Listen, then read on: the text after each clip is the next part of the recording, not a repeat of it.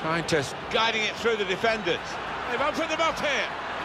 Great move, great goal. Well, it wasn't the hardest shot you've ever seen, but the ball's in the back of the net, and that's all that matters.